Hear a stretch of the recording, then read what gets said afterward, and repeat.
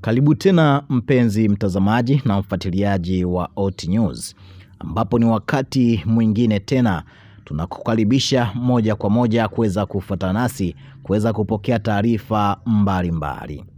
Taarifa kubwa ni juu ya kile mukawama wa Palestina ambao unaendelea na kukabiliana na vikosi vya Israeli vinavyokalia kwa mabavu katika ukanda wa Gaza na kuweza kusababisha hasara kubwa ya maisha na vifaa kwa jeshi la Israeli.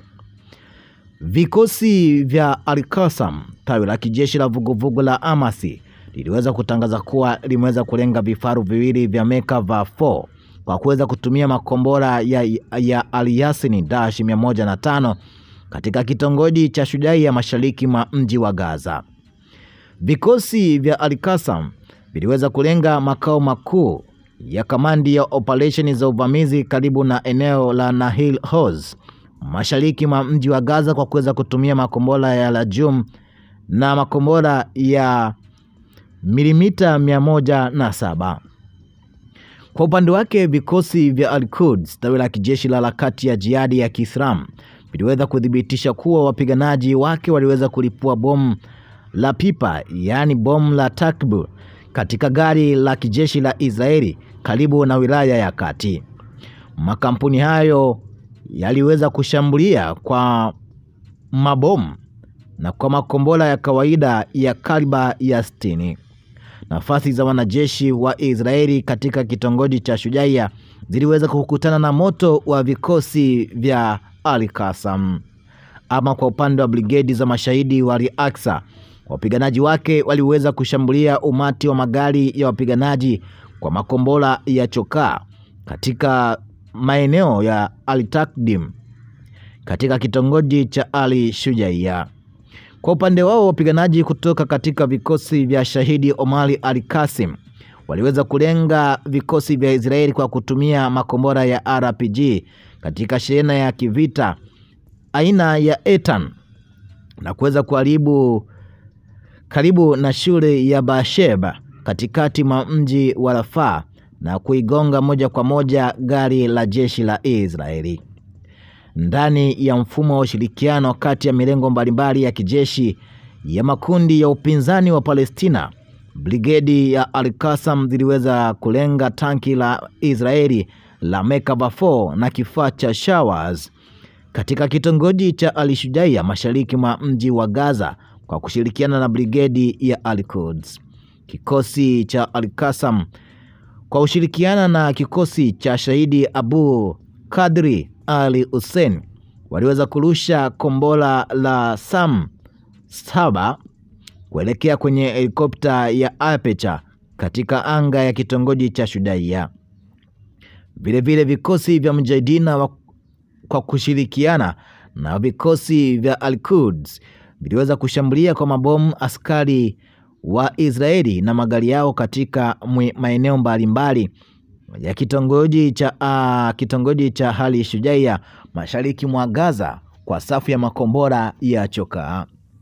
Leo jeshi la Israeli liliweza lili, lilikubali kuuawa kwa afisa kutoka katika brigedi ya Jivat na kujeruhiwa vibaya kwa afisa mwingine na askari wakati wa vita vya upinzani wa Palestina katika ukanda wa Gaza.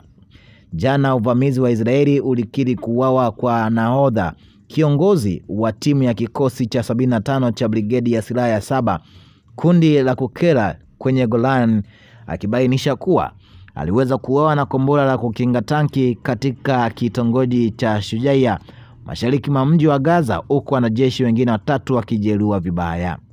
Kwa hivyo idadi ya vifo ilivyoweza kutambuliwa na jeshi la Israeli imeweza kuongezeka mpaka wanajeshi mia sita na themanini na tisa tangu Oktoba saba na ikiwa ni pamoja na wale mia mbili na thelathini na saba waliweza kuuawa katika vita vya ardhini ndani ya Gaza. Haya yanajiri wakati ambapo mkawama wa Palestina unaendelea kukabiliana na wanajeshi wa Israeli wanaweza kupenya katika ukanda wa Gaza. Pia jarida la Marekani limesema kwamba sera ya mambo ya nje iliweza kufichua siku ya Jumatano kuwepo kwa tatizo katika amri na udhibiti wa jeshi la Israeli. likibainisha kuwa licha ya sifa yake kama jeshi la kitaalam ambalo linajivunia kuwa jeshi kubwa zaidi na taasisi ya kijeshi yenye maadili duniani, kampeni iliweza kuzinduliwa huko Gaza iliweza kufichua kwa uwepo matatizo makubwa ndani ya jeshi la Israeli. Wakati Israeli ikiendelea na operesheni zake huko Gaza na kupenya katikati mwa jiji, maswali yameweza kuendelea kuhusu utumiaji wa zana za kijeshi za Amerika kama ilivyoweza kutokea katika shambulio baya la anga la Israeli mnamo Mei 26 mwezi uliweza kupita kwenye kambi ya Rafaa ambayo iliweza kusababisha vifo vya watu 45, angalau mtu mmoja ambaye aliweza kufanya kwa kuweza kutumia silaha za Marekani kulingana na gazeti hilo. Kwa matatizo ya ki, kimkakati, hali ya kikanda bado ni hatari, kwani mashambulizi ya Hezbollah dhidi ya Israeli Mei iliweza kupita yalikuwa makali zaidi tangu Oktoba 7 mwaka 2023 na jeshi la Israeli baadaye liliweza kuonya kuhusu hatua za kijeshi za kukera dhidi ya Lebanoni. Mapema mwezi Juni, mashambulizi ya anga ya Israeli karibu na Aleppo nchini Siria aliweza kusababisha kuuawa kwa mshauri mkuu wa jeshi la Iran. Ni wazi kuweza kulingana na sera ya mambo ya nje kwamba kuna wigo mpana wa kuweza kuongezeka, na hii inaifanya Israeli kuweza kukosa mlolongo wa amri kuwa tatizo kubwa zaidi, ambalo msaada wa silaha za Marekani zimeunganishwa katika mlolongo huo. Gazeti hilo pia liliweza kutaja visa, visa kadhaa vinavyoonyesha wazi matatizo ya amri na udhibiti katika jeshi la Israeli. Kwanza, jeshi la IDF liliamua lili, lilimuua maafisa wa ngazi ya juu kati ya vifo vya wafanyakazi saba wa kuweza kujitolea wa jiko la kuu la dunia katika mashambulizi ya ndege zisizokuwa na rubani mapema mwezi Aprili na kupendekeza kuwa amri ya mifumo ya udhibiti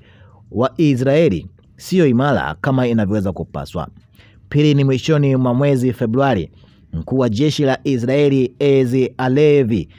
aliwasii hadharani wanajeshi wake kuto kujirekodi wakifanya uhalifu wa kivita licha ya maonyo ya Alevi hutumikia tu kuweza kuimarisha tafsiri hii. Tatu,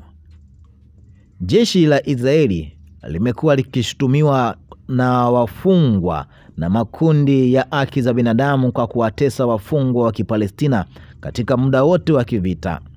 Aliendelea kuwa washiriki wa jeshi la Israeli walikuwa na bado wanashughulisha na shughuli zinazoweza kuonyesha uwepo wa shida kubwa katika safu ya amri ya jeshi la Israeli.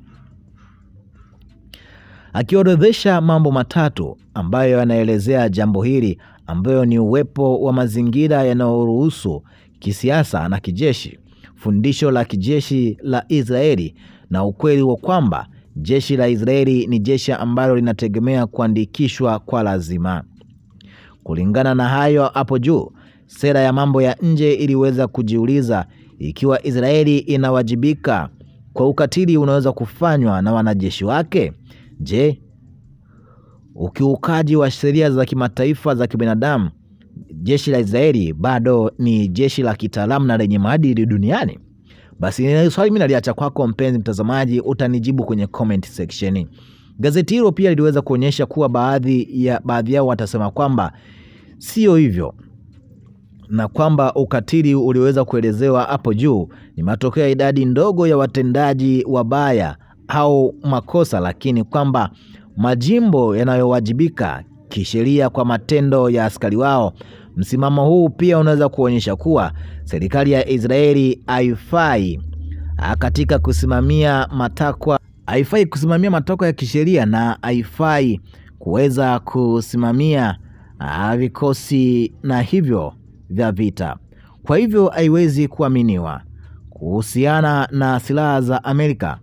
iwe kwa sababu ya hatari ya Israeli kuweza kufanya uhalifu wa kivita au kwa sababu ya vitendo vyake vya kizembe ambavyo vinaweza kuongeza zaidi mzozo katika eneo lote, kama ilivyoweza kutokea mnamo Aprili kuweza kuongezeka kwa Iran na kuongezeka kwa Hezbollah Mavita hayo mpaka sasa bado yanaendelea, lakini kulingana na sera ya mambo ya nje,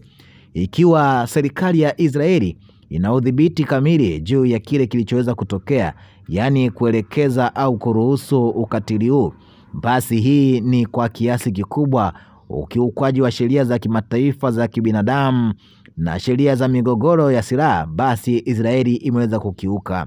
Vyovyote hivyo iwavyo, hii inaleta tatizo kwa watunga sera wa Marekani ambao wanaendelea kusambaza vifaa kwa jeshi la Israeli na kuifanya Marekani ihusishe katika ukiukaji wowote wa, wa haki za binadamu unaweza kufanywa kwa kutumia silaha na vifaa hivi vinavyotoka kwake. Gazeti hilo lilimalizia makala yake kwa kuweza kuuliza hivi, ikiwa jeshi la Israeli aliweze kudhibiti wafanyakazi wake, tunawezaje ku, kutazamia watu wa Marekani waendelee kuifadhili na kuweza kulikabidhi jeshi ambalo halina mahadili? Hilo swali pia na lenyewe naliacha kwako mpenzi mtazamaji na mfuatiliaji wetu wa Oti News. Kikubwa naomba tukutane wakati mwingine na wasaa mwingine kuweza kujuzana taarifa mbalimbali zinazokuwa zina trendi katika mitandao ya kijamii. Tukutane wakati mwingine na wasaa mwingine kuweza kupeana taarifa kama hizi. Asanteni sana wapenzi watazamaji na wafuatiliaji wa Oti News.